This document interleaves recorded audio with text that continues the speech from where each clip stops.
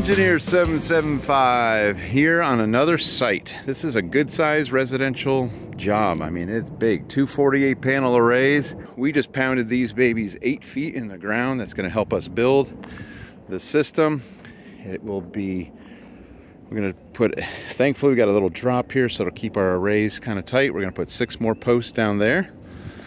And hopefully, we miss the septic line, which we've been told where it is the one that feeds their leach field down there. Somebody did that. That's not me.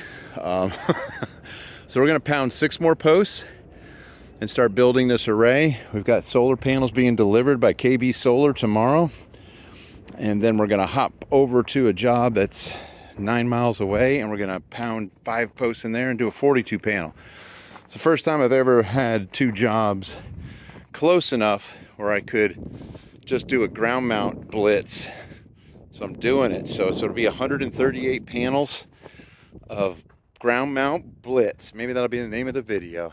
And uh, we got Tony Thrasher on the job, James, all those guys ran away. But we're gonna put in a lot of things here. We're gonna, this is the mechanical room. There's no lights in there yet. And they've got to finish the floor, but we're gonna put in three Sol-Ark 15Ks and a whopping 184 kilowatts of lithium storage. Gonna put a 20 kW Cummins generator as a backup battery charger. Got to do some micro airs on that beast and soft starting for some HVAC. And then we're gonna run this building, which is gonna be like a business. We're gonna run the house. We're gonna run the cottage. And it's gonna be off grid. All completely off grid. That's the plan here. Right now he is connected but there he wants to go off grid. So I'm giving him what he wanted. I've gone through all the other all the options and he wants to do it that way. And if he doesn't have enough power we can add another inverter. But I think he's gonna be good. All right let's do the bottom row of posts. All right we're gonna try a new move this morning with the T775 we're gonna pick up our purlins. Just because we're on a fairly level setup and I'm gonna bring the whole stack up to these guys. We're gonna go boom, we're gonna set our four, and then we're gonna come down to this bay and set our four. But we're gonna do all the lifting with a machine today. We're gonna try this, see how it goes. So I'm in the skid steer, and um, we just did that bay and presented the purlins right to the guys. And we're just back down. This is 248 panel arrays, so just back straight down and build each bay of four purlins at a time. Um, and we'll just kind of get it to, oh, there's Tony. Um, and so we're uh, doing, it's doing working really well.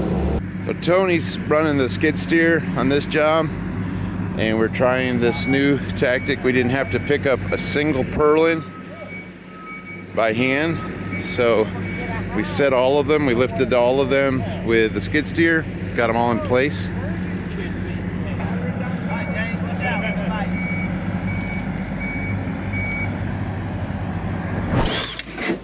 All right, we wouldn't be as successful with our solar systems without putting these micro air soft starters on systems. So we got we got Thrasher's Heating and Air with us today, and Mr. Willis, the master electrician. Um, this we don't usually deal with package units, not too much, but we're putting a this is a five ton unit, getting a Blue 72 micro air Easy Start the capacitor that they have to interface with is over here. So it's a little different than your traditional condensing unit outdoors. Does that fit? It's the European threads. We'll get it in there. Okay. So, but it is pretty much the same, huh, Tony? The same thing. Same thing as four wires. Four wires, no problemo. All right, we're back on site. The weather cleared, and we are about to go crazy here. We are building a 315K system, Sol-Ark 15K, 42 Pytes batteries. We're getting them prepped and ready to go. These are the new V5s. I've done one other job with these. They're very nice. So the Pytes V5s, they're going in. That's Tony over there. We're gonna put in, um, we were like trying to find a rack. One of the biggest problems with a lot of lithium batteries. Though they're good batteries, they don't provide uh, a rack or a decent rack, or they tell you to go to Amazon and buy a server rack, which doesn't always work. So this customer has a fabrication shop and he did a beautiful job making these racks. So I wanted to show you, um, again, this is his first attempt at it. So a couple of things that we're trying to figure out is how we would want to wire. And so we actually drilled and put those chases through. So we're going to have 14 in each cell. There will be a hub, communication hub, that will be connected to the master battery over here. We're going to have a vertical wiring trough with our bus bars, so there'll be no cables exposed and everything will be covered. Our power distribution blocks will be in here covered. Everything's gonna be nice, but we are doing this off grid. We are, so it's a little bit of chaos in here, but it's a great place to work. And we've got 96 KB Solar 450 panels. Wes is knocking out the arrays, wiring them up, six strings of eight on each of these 48 panel arrays, landing them in two of our double IMO DC disconnect junction box systems that we just kind of mass produce now. And then we're gonna bring that array over here into this one and then pull all 12 wires plus a ground in through here and get it into our wiring trough. So we're avoiding obstacles, landmines, and James is digging. Oh man, clothes, shoes are coming off. It's getting serious now. So we're trying to bore underneath this sidewalk to get to our get these LBs in here. All right, they're they're doing a little mining operation right now, and we're gonna pipe down. I gotta core drill some holes to get through there, and we're gonna pipe and get our solar in. Straightforward, just a lot of digging, and. Uh, we got to put this then we're gonna have a generator just a 20k Cummins generator as a backup Mr. Cool I mean the micro air is added to the five ton unit these are soft start they don't need it and we're gonna pipe this baby in inside we're gonna run the conduit along the ceiling. And we'll have that. So our bypass this time will be our solar system or the generator. So the generator will be daisy chained to the inverter and that way we can charge batteries, control it of course by the Sol-Arks and which you one, two, and three 15Ks. And uh, this is kind of the it's kind of what we're going to build here. Three 15Ks, bus bar, and this is 36, but we're going to do 42 batteries. I got six more coming from California. I hope they make it. Hope they make it. But anyway, fun times. Pull that out, Wes. And but we're done for the day. So but we did really good. First day is always a fun day. It's just a blast. It's a blitz. And uh, then we'll get a lot done tomorrow, but we'll feel like we're never going to finish. And then miraculously. We'll finish it up mostly on Thursday, commission it on Friday. That's the plan anyway. Weather looks good. Let's get to it. So he added the micro air to this unit and had to go pull up the wiring diagram from micro air about this ICP. It's International Comfort Products is the brand.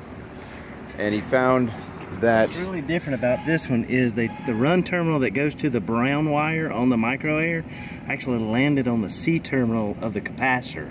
And you've got to take that off of there and hook it straight to the brown wire. sometimes you got to go pull the wiring diagrams and talk to micro air. How many? We got 49 seconds delay. 44. It's coming along. So this is a five ton package unit outside of this project we're working on. We have three 15Ks but still you don't want to have to hit it with 150 amps every time this baby starts. And that's just for the compressor. So that's just fan the running, fan running, air indoor, handler. Outdoor fans are running. And there's a lot of HVAC on this property. We got some other Mitsubishis. Thankfully, they're going to be soft start. This Mitsubishi soft start, but this beast needed some attention. So we're getting there. We're down to 14 seconds. We're going to count down here. Let me see if I can pick up the number when it hits. It's going to be live current. Probably peak. I don't know. It's gonna be peak. What we want to know what we go to. Hopefully you can see that. There it goes. What's it going to give us? Oh my goodness, that's beautiful. So it was 50, it's learning it. It's down to 36.7 amps from 150. You can't beat these things, folks. Thanks again, Mr. Tony Thrasher from Thrasher's Heating and Air. Saves the day.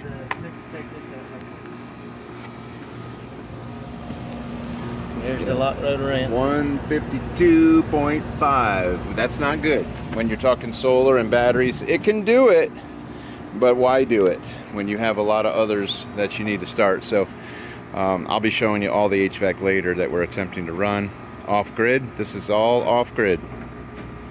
So he's gonna button it back up and one down. Okay, we just had a moment of truth here. We just had a good experience. I had one little glitch on the paralleling, but all three 15Ks are on. You'll see these LEDs flashing on all 36 batteries. It says we could do a charge current of 2,550 amps. That's scary. And we're gonna add six more to it. So they haven't arrived yet. The hub is obviously working because the master says so. And we're getting, yes, we're about 300 amps of charge. So let's see if we can uh, make, the max A charge is probably smaller. So we're gonna make a plant. We're gonna put this thing online, get it aggregated so we can see what we're doing. And then we've pretty much done the DC, we, the DC side and the neutrals and grounds are done at this point. Now we're gonna start doing the AC wiring. We just want to get these things juiced up because tomorrow it's gonna rain. So that's how kind of how we plan plan the project so that when we tomorrow's our last day here. So we're just going for it.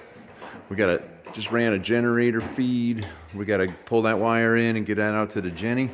That's next. So we're making progress. Back to it on our last day here. Hopefully we'll get everything wired. I'm on power distribution block detail right now. This is for our generator. So we're bringing our generator feed in to the block, our two hots, and we will have 240. The neutral, I took to the neutral block here where all my neutrals are combined. And we also bonded our neutral ground bar in that power distribution block as well. This is an off-grid installation. We are, right now, the critical thing on these inverters is to phase them, make sure they're everybody L1 and L2 on gen and load are phased correctly because you can smoke an inverter if you just go wiring it at all higgity-piggity. Um, so just make sure that you phase it, your L1s and L2s, and then beauty of the power distribution block, you can feed all your inverters. You can feed your bypass. I'm to land gen on the bottom. I'm to land the load, the combined load out of this power distribution block in here. So positioning of these blocks is critical to help kind of the wire management. I know it's a mess, but you know, with three inverters and a lot of things happening between the generator, the inverters, load out, and disconnects and bypasses, you just can't get around fact that there is a lot of wire. So thankful for a 12 inch wiring trough that's eight foot long plus 18 inches here. And then our keeping the batteries out of the way. The battery combiners has been nice. All right it's friday afternoon. The guys are tired. We got to get out of here. They did a great job uh, once again. Um, the only thing left a few things. Gas for the generator We've tested a two-wire start, so the Cummins will support this system that is completely off-grid. Disconnect out here, micro airs. We threw the kitchen sink at it. These batteries are doing awesome. It's a beautiful thing. Six more going on it next week. They just didn't arrive today, which was kind of a bummer, but it won't be a big deal to add those six up there, and that'll really, really look awesome. 315Ks, all paralleled nicely, running the running the place. This one's the master. And we're still charging the batteries. It's late in the afternoon and we're staying ahead of his load and putting about 6 kW into the battery. So hopefully they'll have a wonderful off-grid weekend. If you need help with a system, be glad to design one for you. Um, if you want one like this, be happy to design that for you too. But we do obviously 5, 8s, 12s, 15s, 30s, 60Ks, stacked, paralleled. you name it. Sol-Ark is just knocking it out of the park. We really enjoy Sol-Ark's products. They make us look good. They, uh, it's just really amazing how much, how much technology they have put into these inverters, the advancements they've made in such a short time, and I think they've taken over the market. So awesome, awesome, awesome. So anyway, I'm just admiring the work. This is uh, our probably the most high-end job we've done. My son and I were working, we make uh, Porsches and Toyota systems, but that's for another video. All right. Let me know if you have any questions, but look forward to uh, answering any questions you might have or helping you out if you need help. We have a consultation service, of course. You can sign up, and uh, we'll be glad to uh, carve out the time that you need to get your system done right. All right, this is Engineer 775 signing out.